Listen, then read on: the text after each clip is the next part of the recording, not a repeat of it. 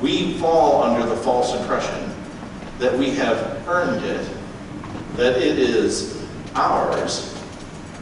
People aren't going to tell us what to do with it.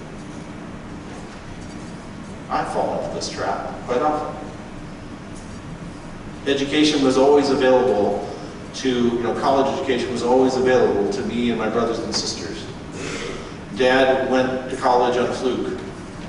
He went just to try out the courses. He found a group of guys that he, he loved hanging out with.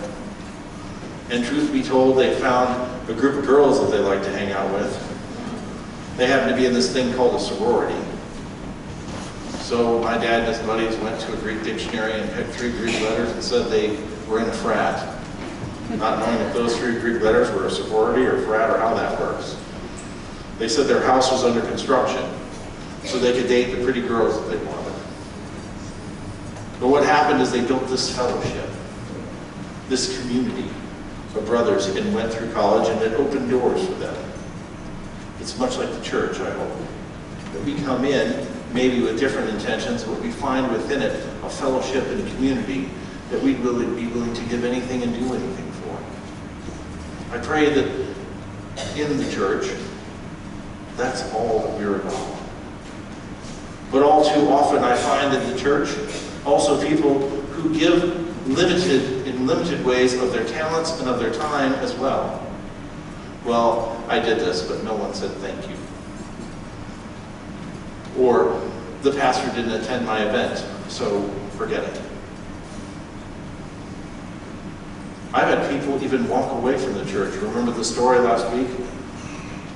The spouse in my church last year that left because they didn't put the features in the building he thought were the most important features when the capital campaign happened. Friends, sometimes when we come together and we vote on things, we don't always get what we want. There's something very humbling about that experience, isn't there? Let's turn back to Scripture for a minute. You see, the Pharisees of the day thought that was about them. They made the rules. People followed them. They set the gold standard. They gave out of their wealth and had nothing to worry about in their sustenance every day. And Jesus turns them away and says, they won't get their reward. Turns to a young widow that gives everything. Friends, I tell you not to give and not to serve if it's out of duty or responsibility. I want you to give and serve out of gratitude. I want you to understand that there is someone who has loved you so much, who has gifted you in such beautiful ways, who has made you exactly who you are, that those gifts and talents might be shared so the good news could be spread. The good news that God loves you and there isn't a darn thing you can do about it. The good news that He died on a cross before you ever sinned. The good news that He looks upon you and loves you regardless of who you've become. And the message of the good news is that who you are today isn't who you have to be. That God wants something greater. That God designed you for something better. That God seeks something more beautiful from you. God doesn't want your money. God wants your heart.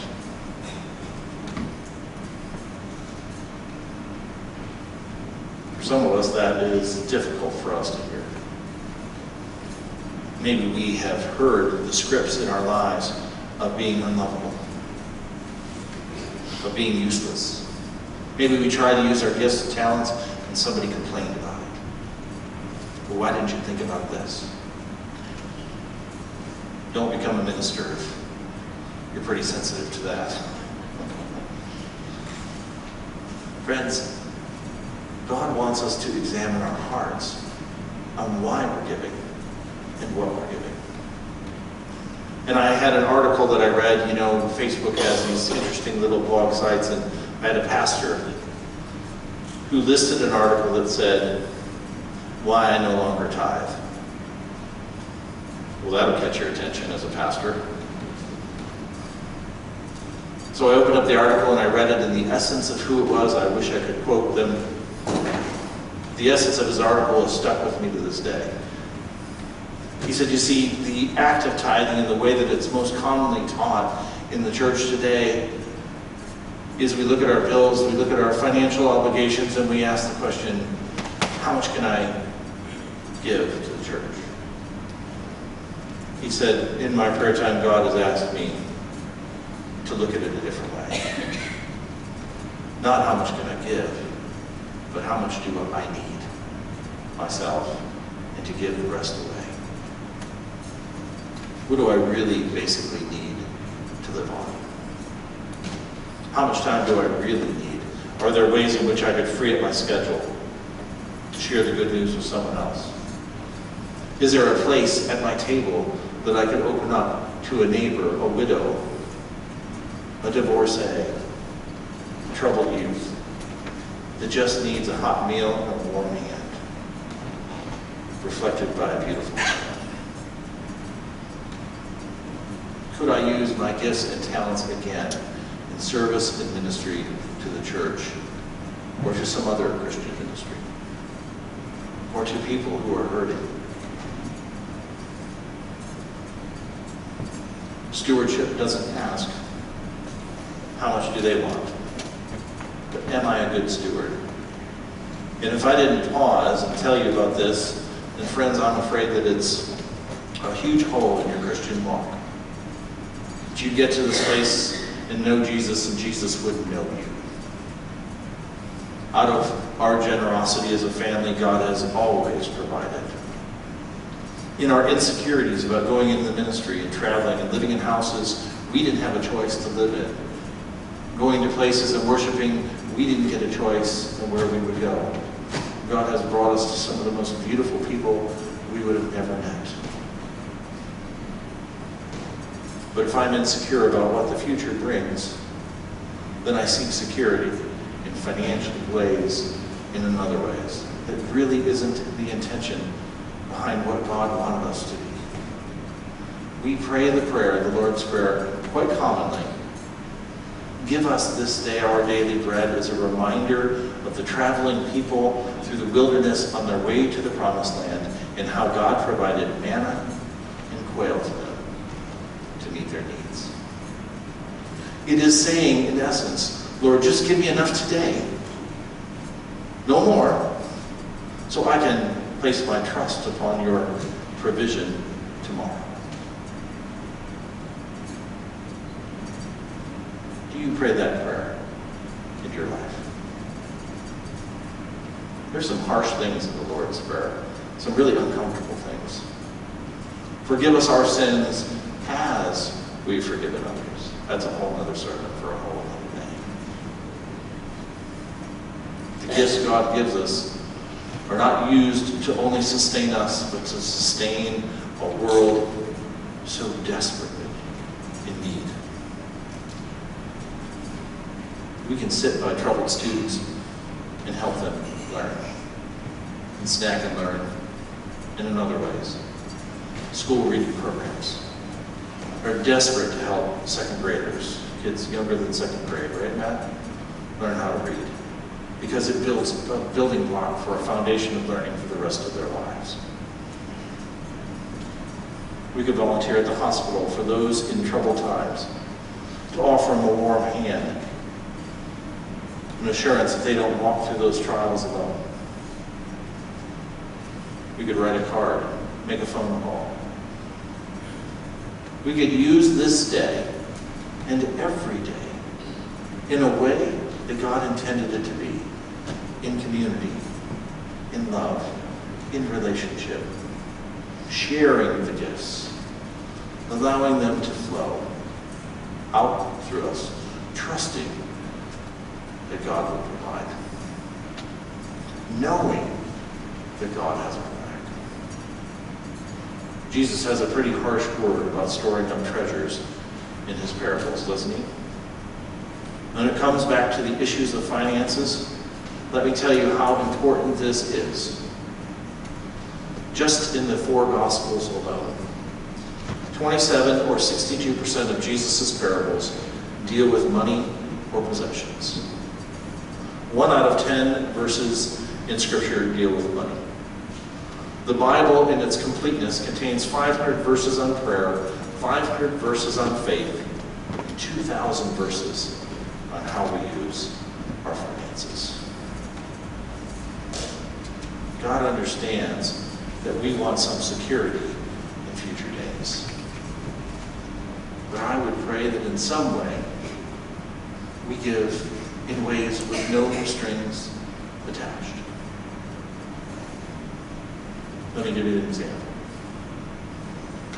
So I'm working, going to seminary, trying to figure out this whole ministry thing. One day I sit down with a friend, and we come on this subject of tithing. And he starts to get annoyed. And I said, where's your pain at, brother? Actually, we were at a fast food restaurant. I remember this now. It's coming back to me. This is old age.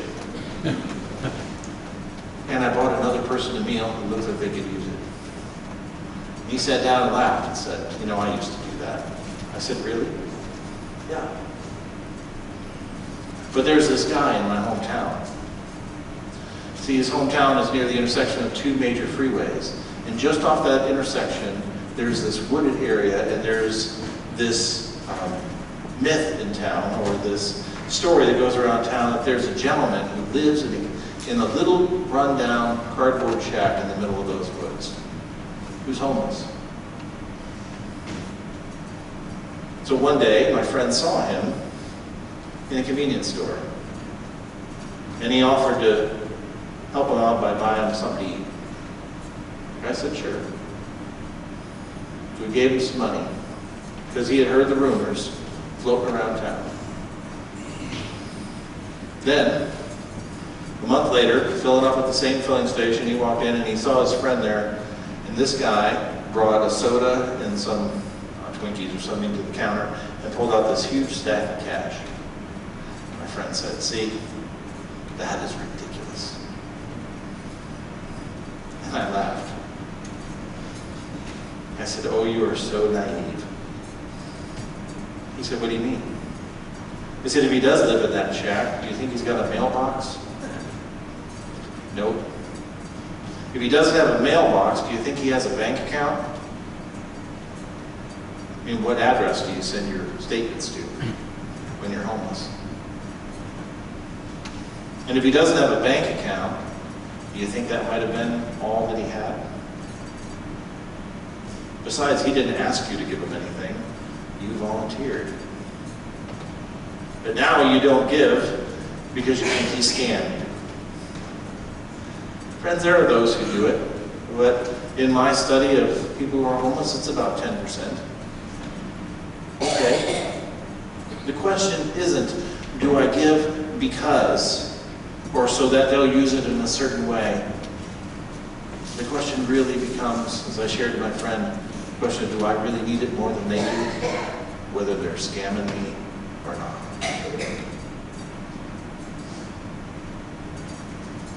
What if we apply that to our entire life? If I give of my time to a neighbor in need. If I say, you know, my vacation this year is going to be spent in Mexico helping those in need. Or maybe in Charleston, or maybe in Nashville, or maybe in Chillicothe maybe in Portsmouth, maybe in Haiti. It doesn't matter. Friends, I'd ask you to reconsider the whole idea of why we give and who is given to us. To ask the question, as my friend said, shouldn't be a question of how much I should give. It should be a question of how much do I really need? And let that guide your decisions of the ways in which you will use talents, the gifts, and the love that God has bestowed upon you, your family, and the world. I don't need your financial gifts. I don't look upon you with dollar signs over your head. I would pray that we would be a church of people who are broken just as we sang about, that come to a cross in need of God's love and God's grace. And that the tap is opened wide, poured out upon us, that we might pour it out upon the world. Amen? Friends, let us prepare our hearts as we can come to the communion rail today and receive. Gracious and holy God, we pray that you might pour out your Spirit on these blessings of bread and juice. Make them to be for us, as broken people, your brokenness on a cross. Make this juice be for us, your blood poured out, that grace might flow and forgiveness might reign in our hearts, in our lives, and in our world. Let us come to this table in need of restoration. Restoration of body, of heart, of mind, and soul. And let's walk away as people filled anew, created anew in service and ministry to your world. Come, Holy Spirit, upon these gifts and those that receive them. Until that day in which you take us home, to sit at your table, to sing of your glory, and to find the promise of life resurrected.